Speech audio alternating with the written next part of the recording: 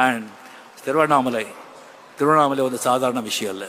ரமண மகர்ஷிகள் யோகிகளுக்கெல்லாம் யோகி. பெரிய பெரிய யோகிகள்லாம் அவர் வந்து தரிசனம் பண்ண வந்திருக்காங்க.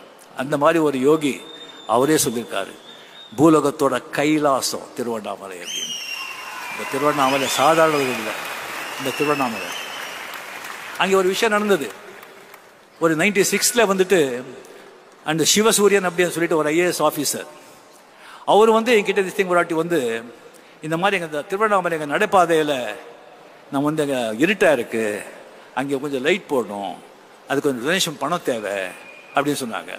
நான் சரி அப்படின்னு சொல்லி நான் கேட்டு ஷூட்டிங் போயிட்டு இருந்தது. நான் இவ்வளோ பணம் சொல்லி நான் கொடுத்துட்டு நான் போயிட்டேன். போன பிறகு அதுக்கப்புறம் ஒரு டூ டேஸ் ஆச்சு. எனக்கே வந்து ஒரு சந்தேகம் ஆச்சு.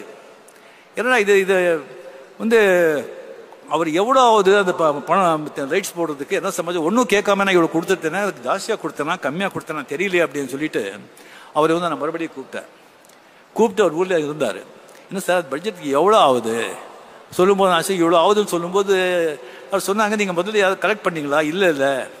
இது வந்து நீங்கள் வந்து திருவண்ணாமலை ப- பக்தர்னு தெரியும். ஃபஸ்ட்டு உங்களிருந்து ஸ்டார்ட் பண்ணலாம் அப்படின்னு சொல்லி உங்ககிட்ட வந்து மறுபடியும் நான் இப்போ கேட்கணும் அப்படின்னு சொன்னாங்க.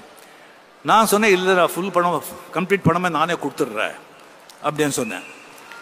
அது கொஞ்சம் அவர் அப்படியே அவர் சிரிச்சிட்டாரு. ஏன் சிரிக்கிறீங்கன்னு கேட்டேன். இல்லை நான் வந்து விசிறி சுவாமிகள் ராம் சுரத்குமார் சுவாமிகள் அங்கே இருக்காங்க. அவருடைய அவருடைய சிஷ்யன் நான். அவர்கிட்ட நான் கேட்டேன். இங்கே வரதுக்கு முன்னாலே அவர்கிட்ட நான் கேட்டேன். அது ஒரு டென் டேஸ் பிஃபோர் கேட்டேன். இந்த மாதிரி கலெக்ட் பண்ணலாம் இருக்கேன் பணம் கலெக்ட் பண்ணலாங்க இருக்க எல்லாருக்கிட்டையும் இந்த விளக்கு போடுறதுக்கு. அப்படின்னு சொல்லும்போது அவங்க சொன்னாங்க அவங்க வந்து ஏன் நீங்கள் அங்கேயே போய் போய் பிச்சை எடுக்கிற? ரஜினிகாந்த் கிட்டே போ. அவர் ஃபுல் பணம் கொடுத்துருவாரு. அப்படின்னு சொன்னாங்க. அவர் அப்படின்னு சொன்னாங்கன்னு சொல்லி முதல்ல உங்ககிட்ட சொல்லியிருந்தால அது என்னமோ இது மாதிரி இருக்கும். அதனால் சொல்லலைன்னு சொன்னாங்க. இதுதான் சீதல்களுடைய பவர் ஒருத்தருடைய மனசுக்குள்ளே போயிட்டு என்ன சொல்லணும் என்ன பேசணும் அப்படின்னு சொல்லி சொல்ல வைப்பான். ஸோ தட் இஸ் அதோடைய இது. ஸோ திருவண்ணாமலை